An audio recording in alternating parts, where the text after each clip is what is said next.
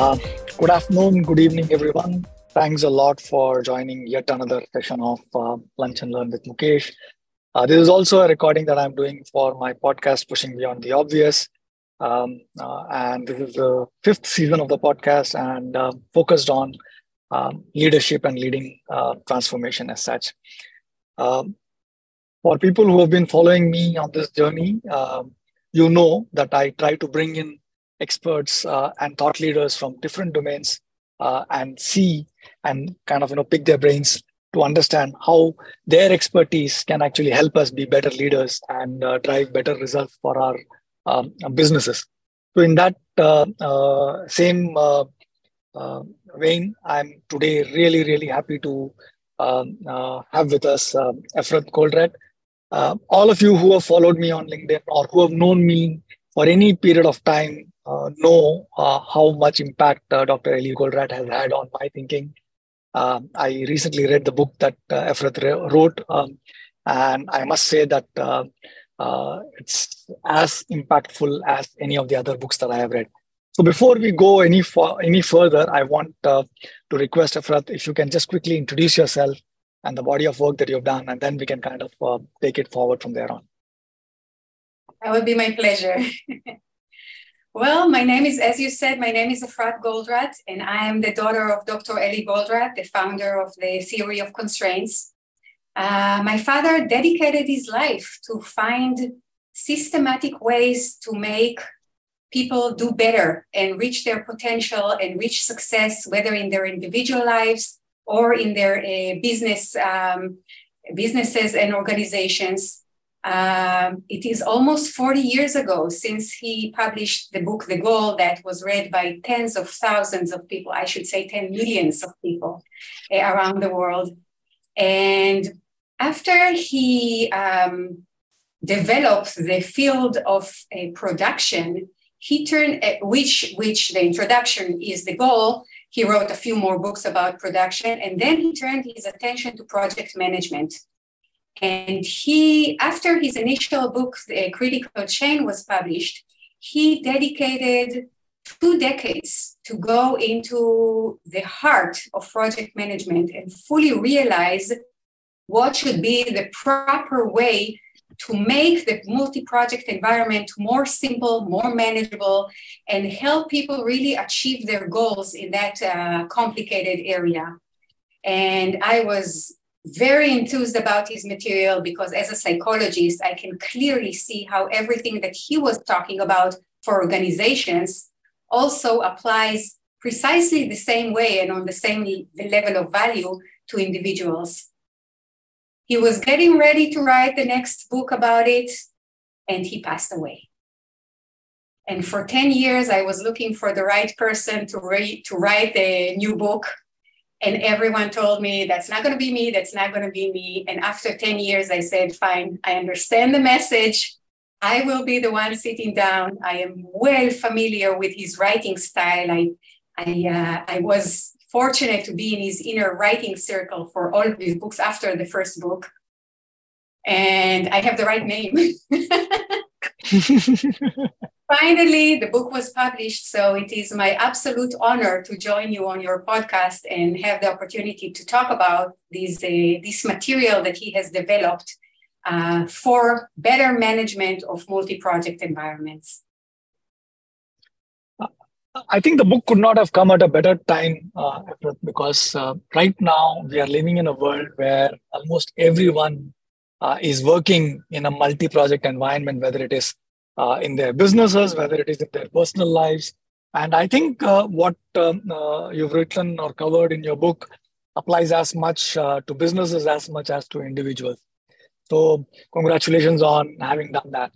So, coming back, right? So, one of one of the uh, things that everyone talks about when it comes to projects and large scale transformation, which is typically multi multi project environment, is a McKinsey study, which is probably about 10, 12, 15 years old, uh, which states that you know about 70% of projects uh, fail to achieve uh, what they set out to uh, uh, achieve or their original intentions, right? So, um, so in your experience, first question: Is this true?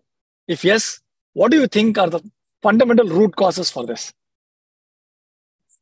Well, first of all, uh, nowadays with the pressure that people are under, I think that uh, I hear from many people that the McKinsey results were actually optimistic. And it's over 80% of the um, uh, projects nowadays that suffer. And first and foremost, they suffer from delays. Things take longer, people are late, people have a very, very hard time finishing on time, delivering on time. And many times, as a result, they have to utilize resources that belong to other projects. And thus, they go over budget and they cause the other projects to be late. And very often now, we just in order to finish it with whatever we can and move on, we also compromise on the content. So yes, that that uh, McKinsey result is very uh, valid, and the way to better managing it is understanding what is causing it. And when I ask people, and we did a lot of polls for decades now, what, what's behind the delays? What is causing the constant delays? Um, at least, of course, there are many different uh, answers to that, but I'm asking the number one cause that is by far more uh, prominent and major to that delay. People saying it's the uncertainty. You know, things pop, things happen, unexpected delays, and we didn't see it coming. There is not much that we can do about it. Um, uncertainty is by definition uncertainty so we cannot really control it and there's nothing we can do and all that we is left to do is just live with it and, and get as much done and that's it well the reality of the situation is that this is not the case which is an excellent um, idea because if this is not the case there are actually a lot of things that we can do let me give you a um, hypothetical scenario. Let's say that you are the manager and you tell your people, listen, if you need more time, if you get delayed and you need more time, just come to me and I will give you the time that you need if you tell me the truth about why it was that you didn't finish on time. No excuses, no mishmash. Just tell me the truth. What? Why didn't you work on that project to finish on time? I will give you the time. People are not delayed by uncertainty. Most of the cases, when people approach the managers in order to ask for, for more time, if they tell you the truth, it will be that they were busy working on something else. That is the number one reason under the pressure to make progress in so many projects, we are multitasking. We jump from one project to another. And that is the cause, that is the major cause for most of more the delays. People are very surprised by that answer. Uh, they don't really see that this is the effect of multitasking. Actually, people tend to believe that multitasking is either, you know, force of nature, we have to do it, or that actually multitasking is a good thing. And we are actually looking for people with good multitasking skills for management uh, positions. Uh, to that extent, so let me let me demonstrate to you what is the real effect of multitasking. Okay, let me share my screen here for a minute. Can everyone see that? Yes. Excellent, excellent. So Let's say that we are multitasking between three projects, that each of them is taking nine days. I'm, I'm making it as simple as possible for the purposes of this example. So we start working on the first day, we start working on project A, and we focus on it and we get things done and we finish it as promised in nine days. And on the 10th day, we start working on project B. We work on it, we invest the time, and we finish it after nine days. So this is day 18. And then on the next day, we start working on project C. We finish it in nine days. Now I can already see the people in the audience here with us raising their eyebrows, saying, "What? Come on, this is not realistic. There is no way we can do that. The pressure is so hard that we have to multitask." We, so let's see what is the effect of multitasking. So we start working on project A and we get it, let's say for the sake of this exercise, a third of it done. And then the pressure to, to, to move and show a, a project B that we are working on that one is, is so immense that we switch to project B. And after we get third of it done, we go to work on project C and we get third of it done. And we are here after day nine. How many projects did we complete? Mukesh, help me out. Zero. Zero. Zero. Zero. So, okay, we are under pressure. We have to get working. We go back to project A and we work on it as fast as possible and we accomplish another third of it before the pressure to move uh, to another uh, project is too hard to bear. And we move to project B and we get a third of it done. And then we move to project C and we get another third of it done. And we are here after 18 days. How many projects did we finish? Still zero. Zero. We finished project A after 21 days, not nine, 21. This is the real effect of multitasking. It makes everything a lot longer than it should be. And because of it, other people are waiting for us. And now let me ask you I don't know about you, but I know about me. How many of us are multitasking between only nine projects? How many of us are working in such ideal scenarios where unexpected things don't happen? And how many of us can really jump into the next project and there is no setup time? We don't have to remember what we did and it doesn't take us time to dive back. And when we go back, the people that we need are available to us. Because of the multitasking, everything takes forever. This is the real price that we are making. So, if we want to manage projects better, what we need to do is we need to take a hard look at our operation and figure out and there are multiple ways to go about it and, and if people need help about it for a you know uh, um, there are quite a few consultancy companies who can help with that but most companies can figure it out on their own we have to make sure that we reduce the multitasking that we jo- don't jump from one uh, uh, project to another and that we work on a, on a number of projects that make sense to, uh, to our operation. Not too much, not too many. And even after we reduce the multitasking, it makes a lot of sense to prioritize. So we work on project A for as long as we can before we need someone else's uh, thing, and then only we move. Minimize the multitasking to get things done. You will see that the flow gets going that we will accomplish just by doing that, we will accomplish a lot more. Interesting. And so it, was, this is also similar answer to uh, uh, one question. Sorry about that. Well, so the the point that um, uh, uh, comes to me when I hear this, or the counter argument that when I hear people when I talk about this to people is that uh, the answer is not uh, not to multitask, but the uh, answer is to be more productive when uh, in whatever it is that you're trying to do. So uh, there is a whole slew of uh, experts. There is a whole slew of literature. There's a whole slew of courses that today focus on improving your productivity on whatever it is that you're doing, rather than look at what is the fundamental reason because of which um, uh, you know the projects are getting delayed. It's like addressing the symptom and not really addressing the root cause. Whereas if I understand correctly, what we do if we focus on um, key projects. And in the book you talk about triage which is the medical system uh, at in an emergency room uh, when patients come in the emergency doctors actually do a triage right at the start as to you know who needs the attention first.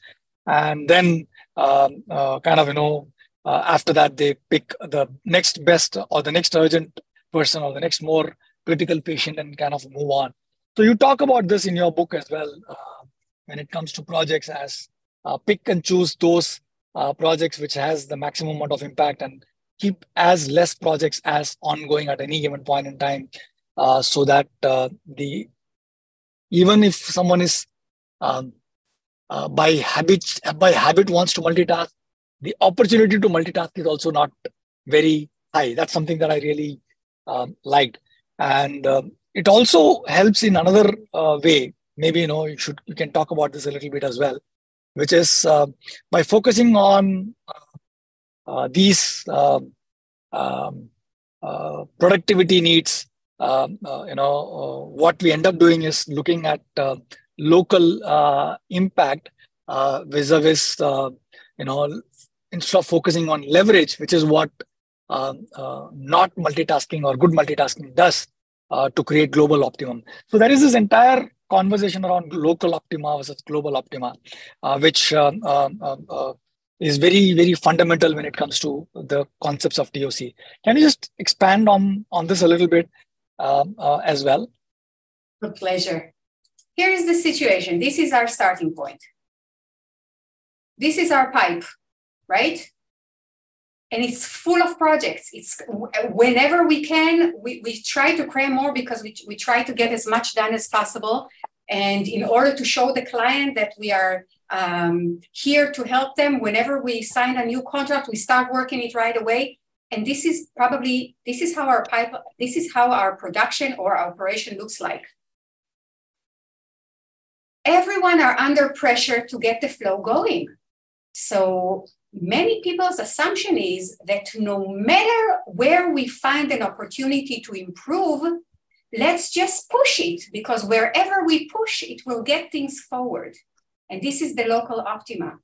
People also assume that um, if we uh, make an improvement here, an improvement there, an improvement at the bottom, an improvement at the top, at the beginning, at the end, they will accumulate. And in the end, the, the uh, flow will go faster. The reality of the situation is that the, these local optimum don't ever don't mount to anything and they don't help a lot the only place that you should focus on improvement to make a real improvement is the constraint after we reduce the multitasking, we have a visibility that we never have before. We can actually see what part of our operation has less capacity, where things are stuck in a queue that we have to resolve. So, if we truly want to improve our operation, if we want to get the flow going, there is one place that we need to focus our effort if we want the global optimum to be better, and that's the constraint. Now, I'm saying again, as long as the pipe looks like that, what are our chances of, of uh, identifying the constraint? Where is it? We have no idea. Everything is stuck, no everything is waiting in line. It's only after we reduce the multitasking that if we that if we take a look and we see where things are stuck, we can very easily see where the constraint is. And now utilizing the five focusing steps, and I'm sure those of you who are familiar with the goal and TOC know exactly what I'm talking about. It's not complicated. We want to get more out of the flow. Let's focus on the constraint. Let's get as much as possible from the constraint. That will help us get a lot more of the flow and get the flow faster. If we are in such a situation where we have a constraint in our uh, operation and we keep the multitasking, what are the what are the benefits? Nothing. We just keep pushing and the queue gets longer. But if more projects wait in queue, it doesn't mean they will be pushed further. It just means they will be waiting in line for longer. So this is so, why uh, better management means focus. Mm.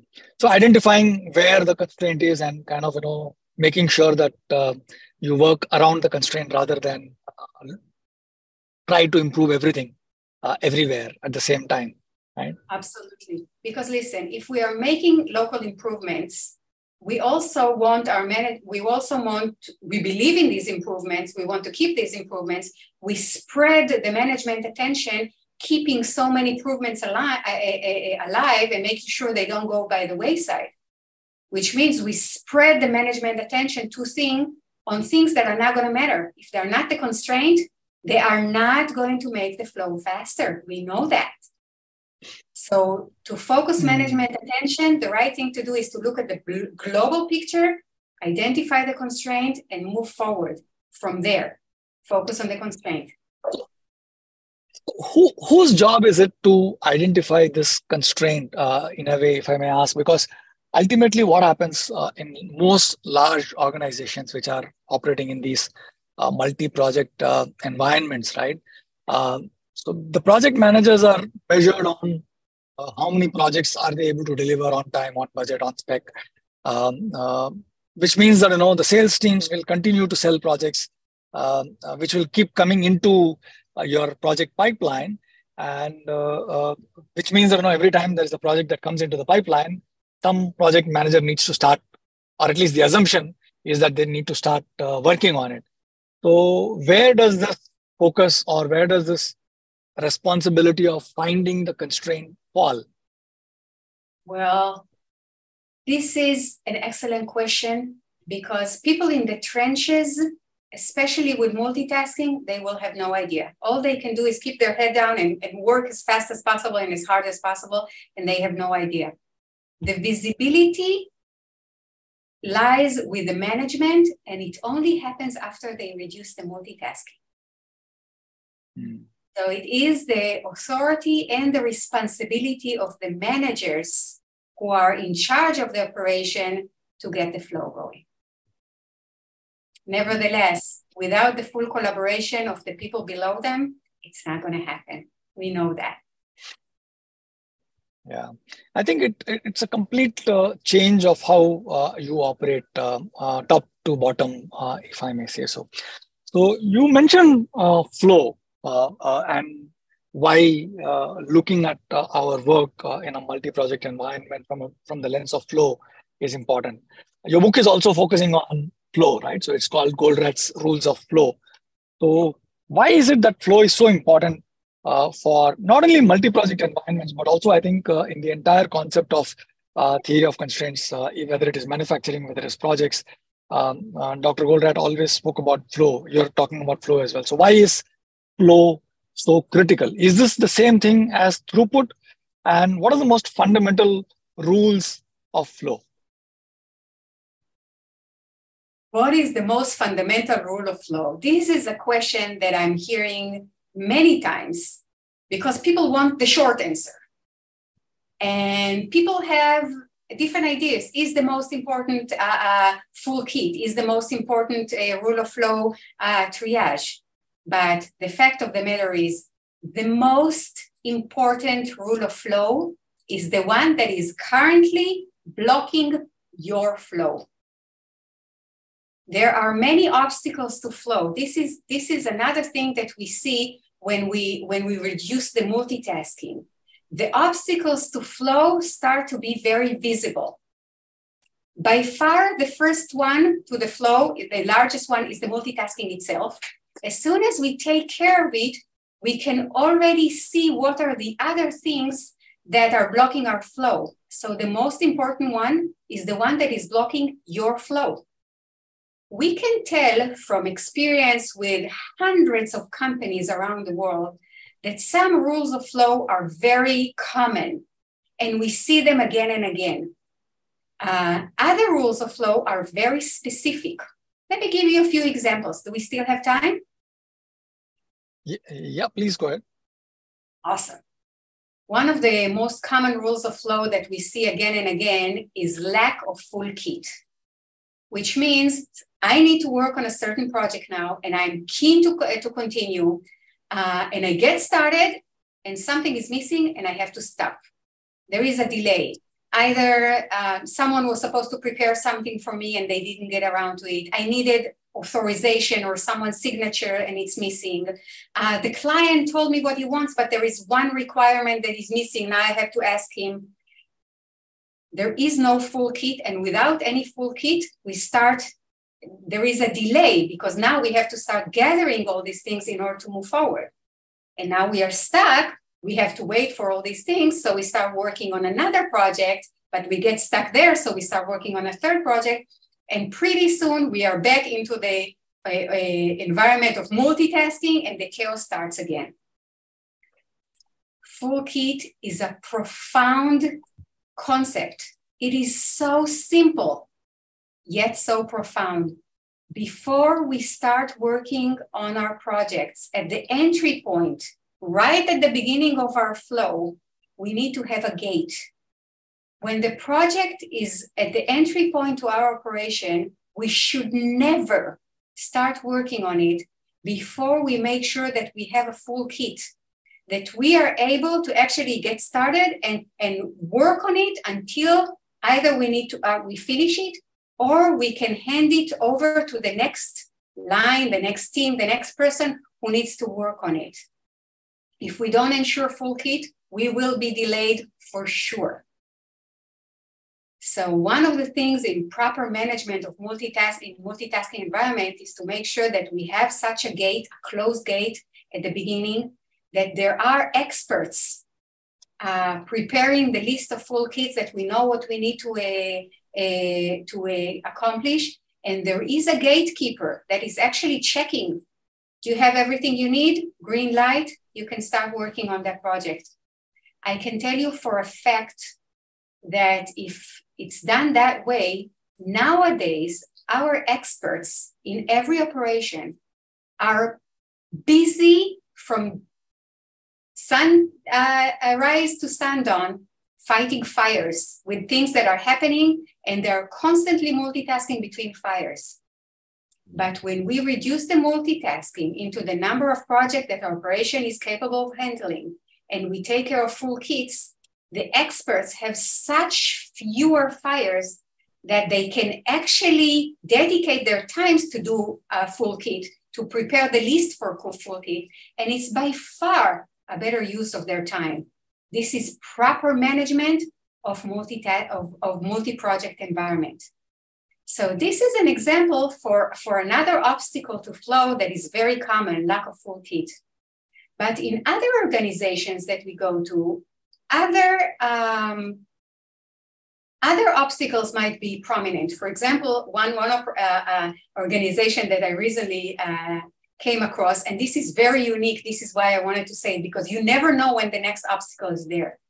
Their organizational culture is such, and it's a profound issue in their culture, is that they don't do little things.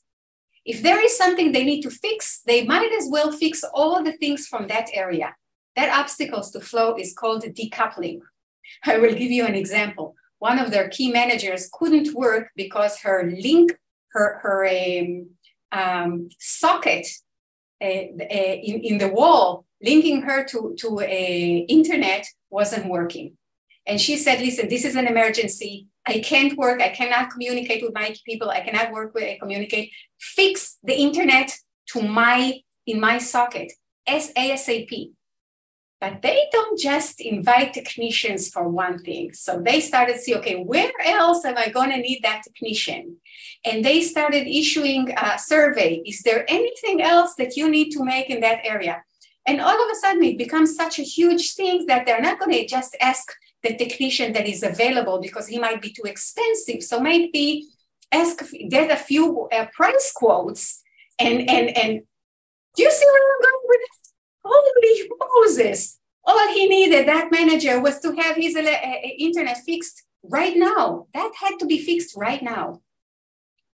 In organizational culture where everything becomes such a project, decoupling, accumulating everything so, so, so we take care of everything with that is the wrong thing to do. Of course, in, in specific occasions, decoupling is the right thing to do. But as a rule, as, as, as part of the culture or as part of a, a, a way to go by a specific uh, manager, that can become a real issue and a real obstacle to flow. So we have to fix it. And this is why when you asked me what is the most uh, important rule of flow, my answer was the one that is blocking your flow right now. I, we never know when we enter a, a, a, company, but if we want to get the flow going, we need to identify the major obstacles to flow and we need to handle them, and then we will see the flow go. Interesting. So, uh, what you are sharing um, uh, is an approach to management and to work which is so drastically different uh, to how organizations currently work, right?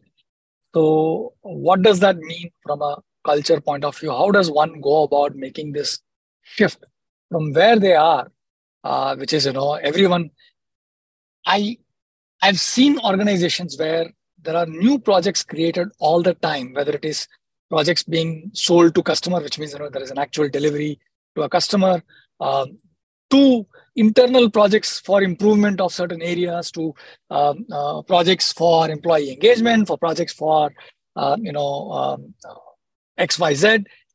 They only keep adding projects more and more and more in the environment rather than reducing um, or closing down any project at all. I even know organizations where uh, everyone knows that a particular product or a particular project is doomed. It will never complete on time, on spec, on budget. But still, because of sunk cost fallacy, they continue to uh, invest on it, they continue to work on it, while at the same time not allowing the resources to kind of you know work on other projects as well. So that's the environment that we are in today. Uh, the environment that you're talking about is so different. How does one go from here to there? Well, I'm, I'm, I'm very happy that you brought it up because this is precisely the situation and we see it worldwide. People are aware of the chaos and are aware of the pressure, and because of it, they add more pressure. And what they need to do is to go the other way around and release the flow to get things happening a lot faster. Um, I can tell you that many years ago, when my father started to talk about managing constraints in production uh, in the early 80s, he had a similar situation where in production, people were cramping more and more things into production.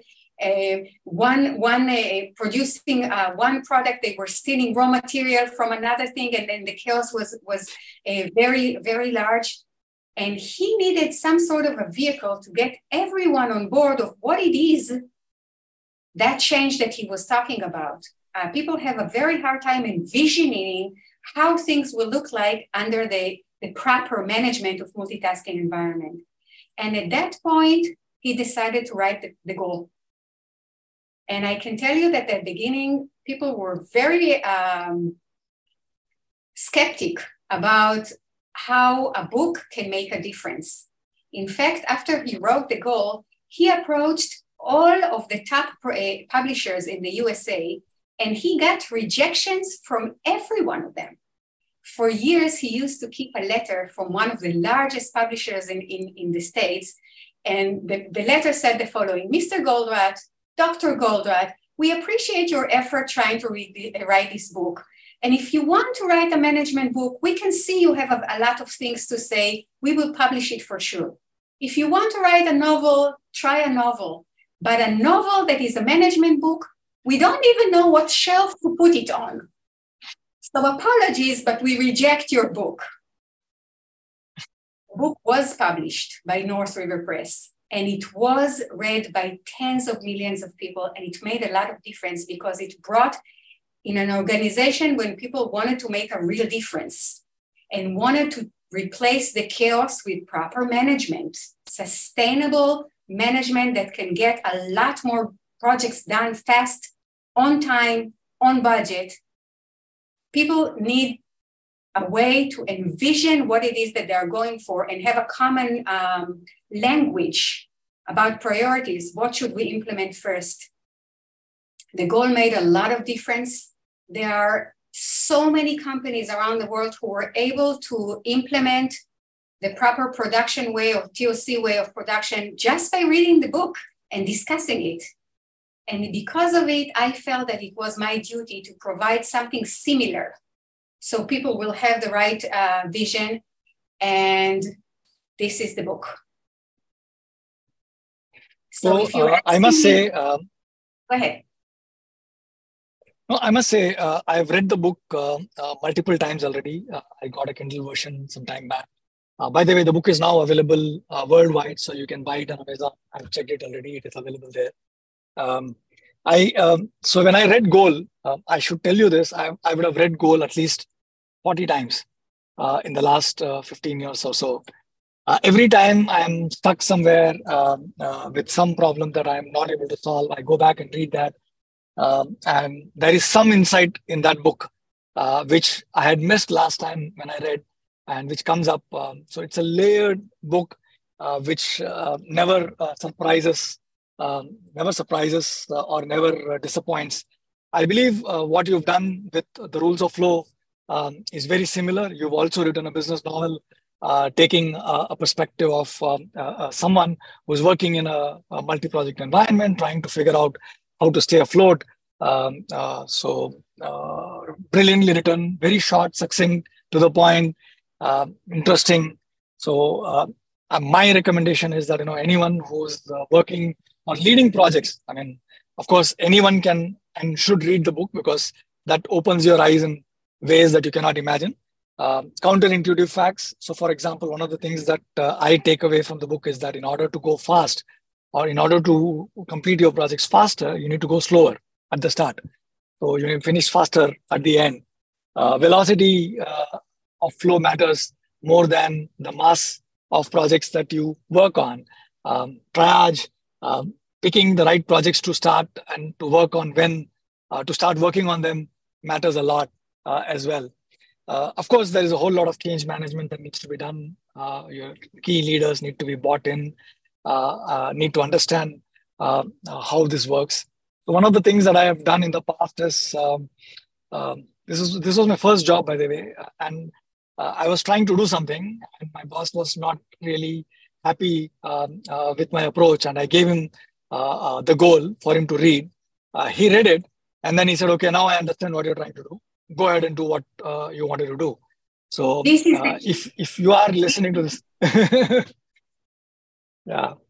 So uh, if if you want to work in an environment where uh, you get the satisfaction of starting and completing projects, of having impact rather than just being busy, uh, not only read this book but also buy one for your boss and one for your boss's boss um, uh, and gift it to them uh, I can tell you uh, they will be really, really happy that you did that. And it also, you know, in a way, uh, helps you in the long term uh, because uh, it also kind of, you know, positions you as a as someone who cares about the business, uh, and that also accelerates your um, career from that point of view. So you can buy the book, uh, Goldratt's Rules of Flow, everywhere books are sold. A few more uh, things that I want to mention with your permission. One is you mentioned if you want to accomplish more, don't go faster, go slower. What my father used to say is if you want to accomplish more, don't go faster, focus. The, what we need to do is, is instead of jumping all over the place, multitasking, we need to focus. It's not about slower or faster. We will still be amazingly busy because we want to get things done. We want to get as many projects. We want to get as many customers. But the focusing is the point. Um, I, you have here um, the image of, of, of the book. One of the things that I use, that I did a lot of research on is how to make it as short as possible. It's 170 pages. I, I know that people are busy today. I know that people can't afford to take two days out of their time to read a hefty 500 pages book. And believe me, it would have been a lot more easier to write in 400 pages, a lot easier. Um, there is one more other things uh, to do, and this is why I think that the, the uh, date of your podcast is perfect.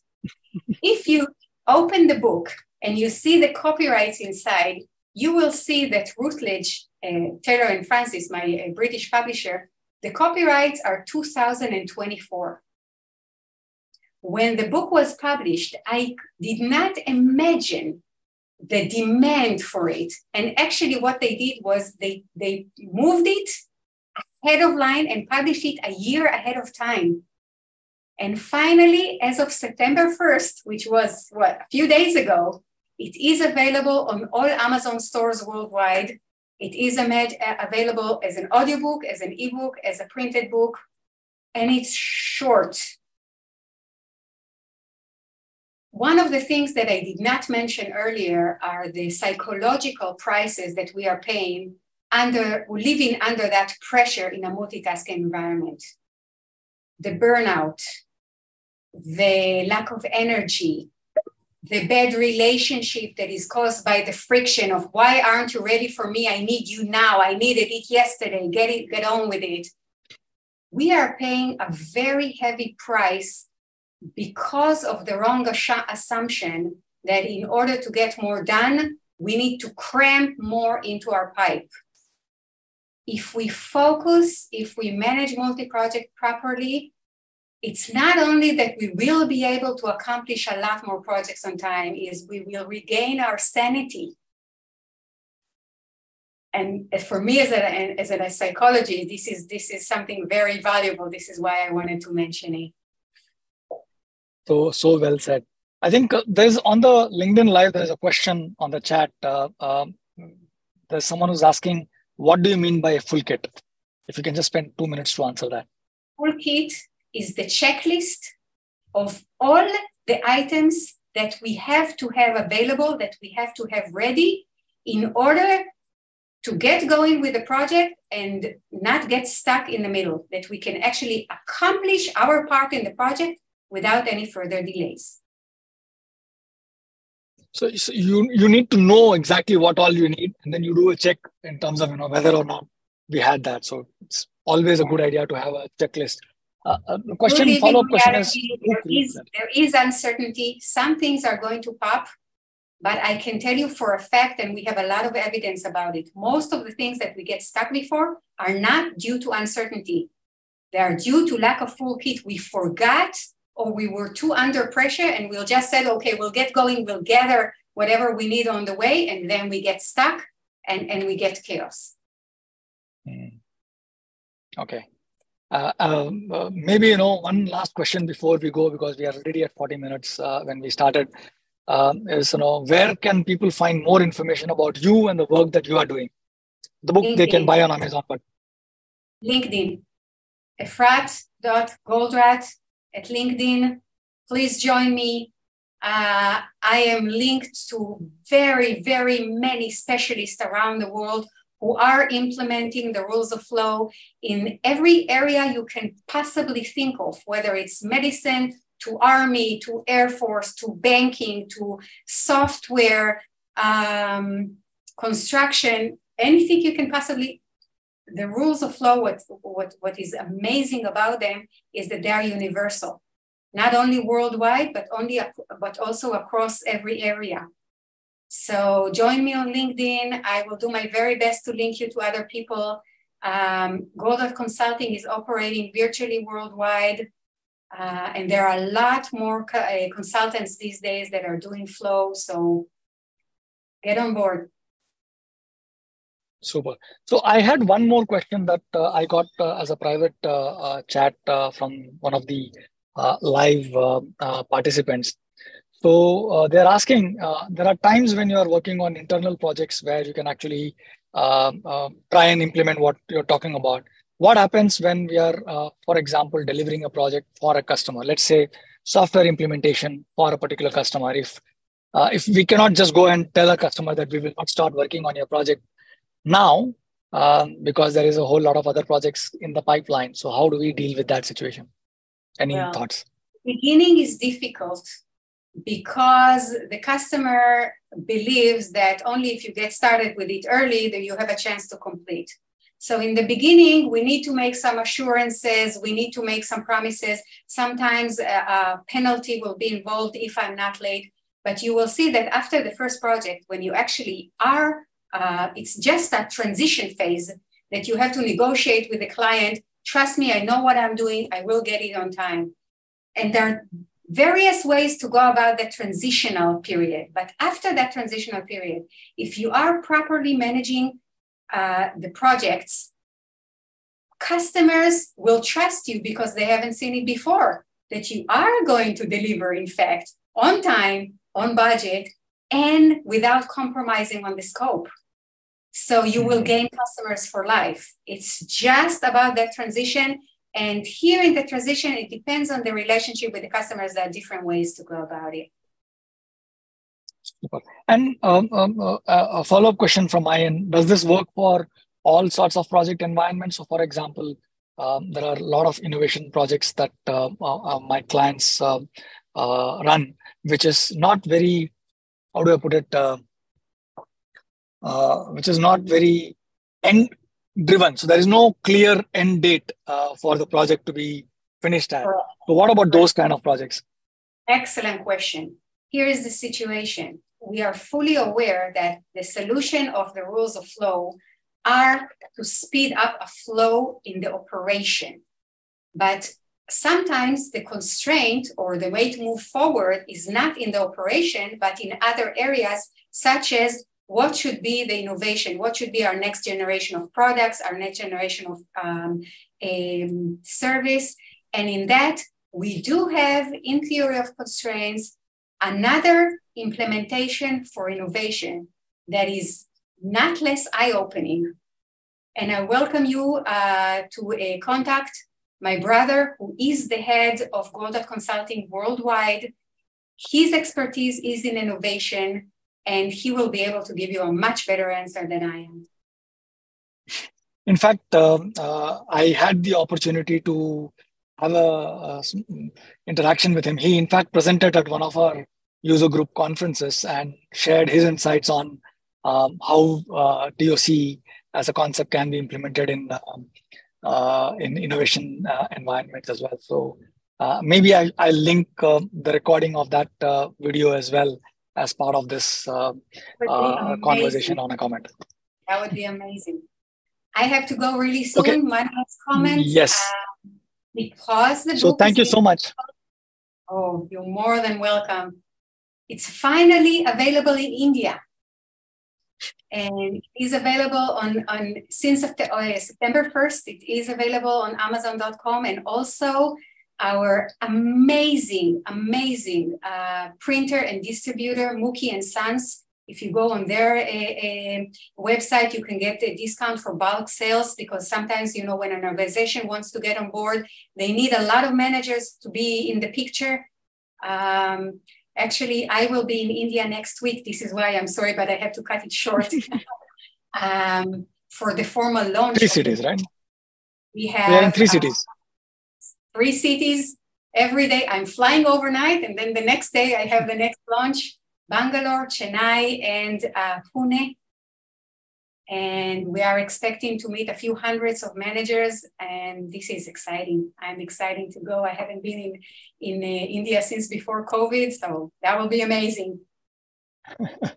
So thank you so much Efrat, uh, for uh, taking time and uh, talking to me uh, and sharing your insights with my community um, i really really appreciate both your time as well as your insight and um, highly recommend people to uh, uh, if you are familiar with TOC, uh, I'm pretty sure you will enjoy the book a lot more. Even if you're not familiar with TOC, I'm pretty sure there is a whole lot of insights that you will get from the book.